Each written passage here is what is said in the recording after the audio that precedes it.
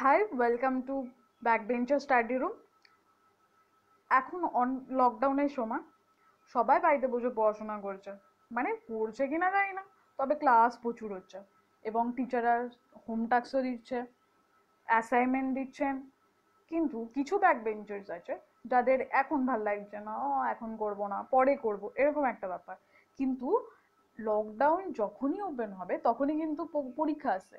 তো পরীক্ষার জন্য কিছু সময় তো একটু দিতেই হবে। আর এই সময় তোমরা একটা জিনিস খুব করছ, সেটা হচ্ছে ইউটিউব দেখছ। ইউটিউবে কার্টুন গান সিনেমা প্রচুর দেখছ। দেখো, এই সিনেমা কার্টুনের মাঝখানে যদি দশ মিনিটের একটা ভিডিও তোমরা দেখে নাও, এই ভিডিওটার মধ্যে আমি তোমাদের দশটা, সাতটা এরকমভাবে শর্ট কোশ্চেন করিয়ে দেবো। সেটা হচ্ছে, তোমাদের কাজে লাগবে, দেখো ইজি ওয়ে বই খুলতে লাগছে না, কিন্তু শর্ট কোশ্চেন তুমি পড়ে ফেলছো। একটা ভালো প্রসেস না ব্যাক বেঞ্চেরা সবসময় ইজি প্রসেস পছন্দ করে। আর এটা একটা ইজি প্রসেস তো তোমাদের জন্য আমি একটা নিয়ে এসেছি, আজকে একটা চ্যাপ্টার সেটা হচ্ছে গ্যাসের আচরণ। এই চ্যাপ্টার থেকে কতগুলো শর্ট কোশ্চেন আমি তোমাদের করিয়ে দেবো এই দশ মিনিটে যদি দশটা শর্ট কোশ্চেন জেনে দাও তাহলে একটা ভালো ব্যাপার না বেনিফিশিয়াল ব্যাপার। চলো স্টার্ট করি তাহলে। গ্যাসের আচরণ। গ্যাসের আচরণের প্রথম কোশ্চেনটা আমরা দেখে নিই। পরম শূন্য উষ্ণতার প্রকৃত মান কত? দেখো, পরম শূন্য উষ্ণতা কাকে বলে প্রথমে জানি? যে উষ্ণতায় কোনো গ্যাসের আয়তন শূন্য হয়, সেই উষ্ণতাই হলো পরম শূন্য উষ্ণতা। তাহলে পরম শূন্য উষ্ণতা নিশ্চিত একটা মান থাকবে যে কত উষ্ণতায় গিয়ে সব সব গ্যাসের আয়তন শূন্য হয়ে যাবে। সেটা হচ্ছে কি? মাইনাস দুশো তিয়াত্তর ডিগ্রি সেন্টিগ্রেড দেখো নেক্সট কোয়েশ্চেন দেখো, প্রমাণ বায়ুমণ্ডলীয় চাপ। প্রমাণ বায়ুমণ্ডলীয় চাপ কাকে বলছে? এক বায়ুমণ্ডলীয় চাপকে প্রমাণ বায়ুমণ্ডলীয় চাপ বলছে। এর সাথে সাথে আরেকটা জিনিস দেখে নাও। প্রমাণ বায়ুমণ্ডলীয় চাপ তো হলো। এবার প্রমাণ বায়ুমণ্ডলীয় তাপমাত্রা কাকে বলি? সেটা হচ্ছে কি পঁচিশ ডিগ্রি সেন্টিগ্রেড তাপমাত্রাকে আমরা কি বলি? প্রমাণ তাপমাত্রা। তাহলে প্রমাণ চাপ আর প্রমাণ তাপমাত্রা জেনে গেলে। পঁচিশ ডিগ্রি তাপমাত্রাকে বলা হয় কি? প্রমাণ তাপমাত্রা এক বায়ুমণ্ডলীয় চাপকে বলা হয় প্রমাণ চাপ। এবার দেখো, এর সাথে সাথে আরেকটা আরেকটা জিনিস দেখে নাও, সেটা হচ্ছে কি প্রমাণ তাপমাত্রা আর প্রমাণ চাপে যে কোনো গ্যাসীয় পদার্থের মোলার আয়তন কত হয়? বাইশ দশমিক চার লিটার।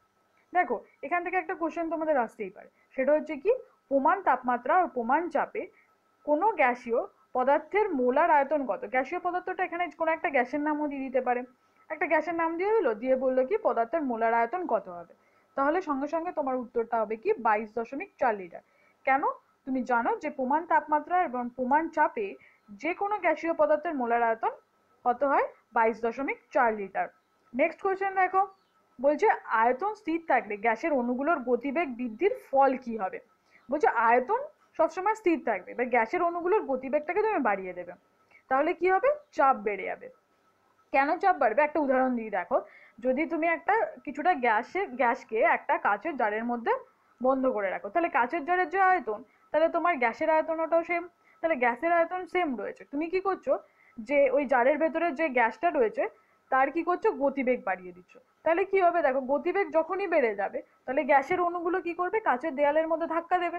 তাহলে ধাক্কা দেওয়া ধাক্কা দেওয়া মানে কি? চাপ দিচ্ছে। তাহলে চাপ বেড়ে যাবে।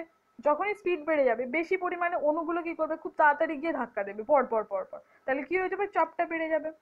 দেখো নেক্সট কোশ্চেন দেখো। নেক্সট কোশ্চেন হচ্ছে জিরো কেলভিন উষ্ণতায় আদর্শ গ্যাসের আয়তন কত? জিরো কেলভিন উষ্ণতায় আদর্শ গ্যাসের আয়তন শূন্য হয়। কি করে শূন্য হয়? আমরা এইমাত্র পড়েছি পরম শূন্য উষ্ণতায় গ্যাসের আয়তন শূন্য হয়। গ্যাসের আয়তন পরম শূন্য উষ্ণতায় শূন্য, তাহলে পরম শূন্য উষ্ণতাটাই কত? মাইনাস দুশো তিয়াত্তর ডিগ্রি সেন্টিগ্রেড এটা হচ্ছে সেলসিয়াস স্কেলে এটাকে যদি তুমি কেলভিনে নিয়ে যাও, আমরা জানি কি? Kelvin equal to Celsius plus দুশো তিয়াত্তর।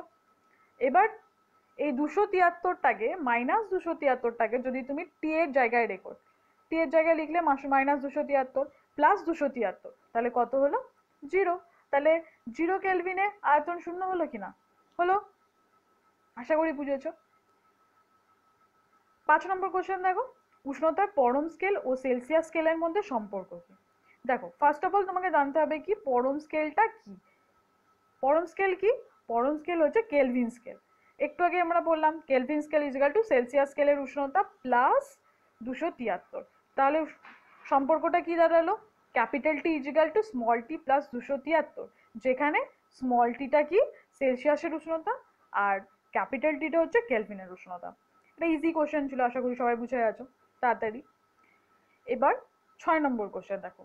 কি বলছে ছয় নম্বর কোশ্চেনে কেলভিন স্কেলে জলের হিমাঙ্ক আর স্ফুটনাঙ্ক। কেলভিন স্কেলে জলের হিমাঙ্ক কত? দুশো তিয়াত্তর কেলভিন আর স্ফুটনাঙ্ক কত? তিনশো তিয়াত্তর কেলভিন। এবার দেখো, এই কেলভিন কথাটা আমরা অতটা পরিচিত নই, কিন্তু সেন্ট্রিগেটের সাথে আমরা পরিচিত। আমরা সবাই জানি কি? সেলসিয়াস স্কেলে জলের হিমাঙ্ক কত? মানে জল বরফ হয়ে যায় কততে? জিরো ডিগ্রিতে। জিরো ডিগ্রিতে যদি বরফ হয়ে যায়, তাহলে কি করবে? দেখো, কেলভিন উষ্ণতায় নিয়ে আসো।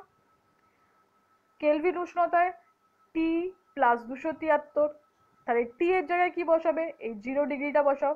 জিরো প্লাস দুশো তিয়াত্তর কত হলো? দুশো তিয়াত্তরই হলো। তাহলে সেলসিয়াস স্কেলে জলের হিমাঙ্ক কত? দুশো তিয়াত্তর কেলভিন ওকে এইভাবে দেখো পরেরটাও, যে সেলসিয়াস স্কেলে জলের স্ফুটনাঙ্ক। স্ফুটনাঙ্ক কি? সেলসিয়াস স্কেলে জলের স্ফুটনাঙ্ক হান্ড্রেড ডিগ্রি আমরা জানি হান্ড্রেড ডিগ্রিতেই জল ফোটে। তাহলে সেটাই হচ্ছে জলের স্ফুটনাঙ্ক। এবার দেখো কেলভিন উষ্ণতাতে বসাও টি এর জায়গায় যদি তুমি একশো বসাও, তাহলে একশো বসিয়ে একশো প্লাস দুশো তিয়াত্তর তিনশো তিয়াত্তর হয়ে গেল। দেখো, ছটা শর্ট কোশ্চেন কিন্তু একটুখানির মধ্যে হয়ে গেল। তো ইজি ওয়ে তো? ঠিক আছে। ভালো লাগলে লাইক করো। Thank you